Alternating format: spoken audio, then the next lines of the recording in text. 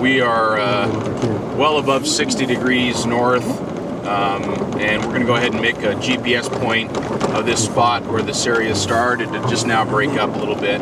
But uh, we've had it with us for the whole trip. It's pretty amazing.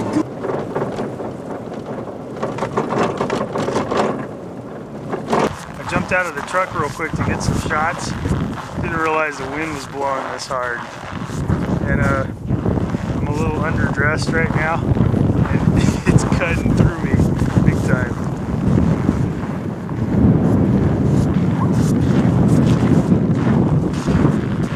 It's chilly. Chilly, chilly out here on the Dempster this fine morning. But we're in this tombstone range and these mountains are surrounding the road right now and it's the, the photography is spectacular well worth getting out here in the, in the cold wind some oncoming traffic here they're probably going to think we're kind of insane walking around out here because Scott took off down the road so there's no vehicle in sight so they're going to think it's just a couple nuts with cameras walking down the highway here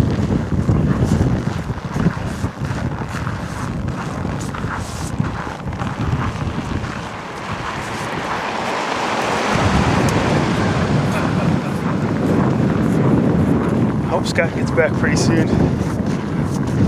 It's getting cold. That would suck to be out here without that truck right now. And just these clothes. I think I would be dead in short order. this is incredible.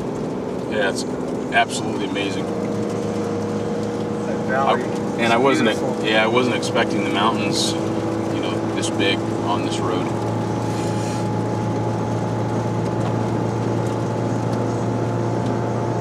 Mean, a pretty good grade right now. Yeah. We're at 15 degrees outside right now, and uh, the wind is blowing pretty good. Um, the road actually has pretty decent traction right now. I think from everything being so cold, um, the tires are still got a lot of grip. But we are taking it easy. We don't want to. We've seen a couple uh, places where water has broken through the side, through the uh, the mounds of snow on the side. The water has broken through and, and pooled out onto the road and created these little mini ice lakes um, on the highway here. So we're really watching out for those because uh, they come up on you quick, and they're and the way that they're shaped, you can easily catch a tire on on an edge and slide, start sliding sideways a little bit.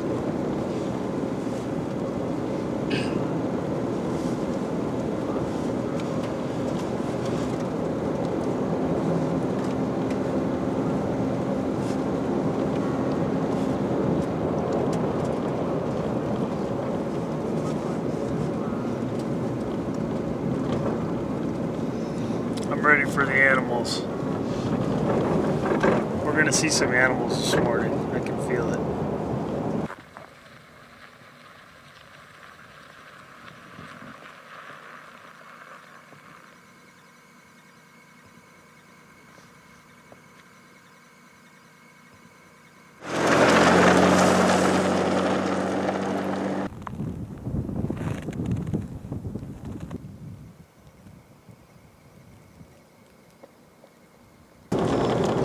Down to six degrees now. Yeah, as soon as you open that window, instantly you feel. I mean, it's just a rush of cold air. Yeah.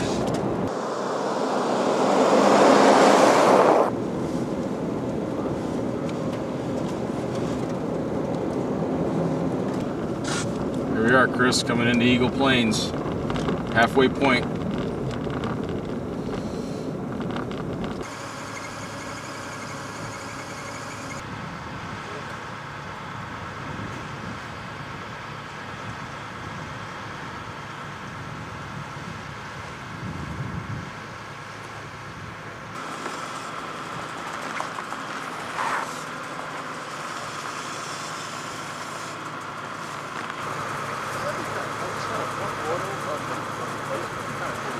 Any news on the road conditions? Everything open or? Well, I, I'm not sure. Uh, uh, the YTG would know exactly.